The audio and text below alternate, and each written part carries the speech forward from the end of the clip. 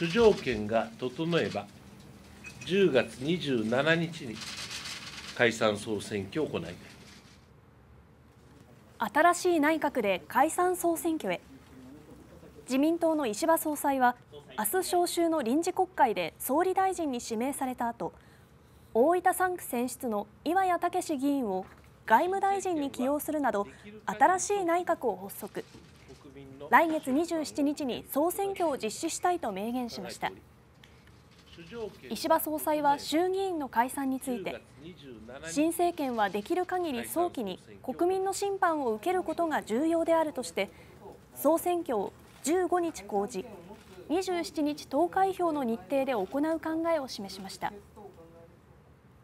明日発足する閣僚人事では林芳正官房長官を続投させる一方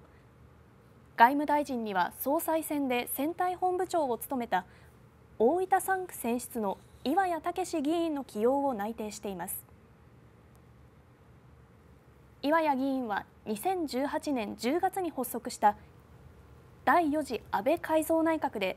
防衛大臣を務めて以来の入閣となります。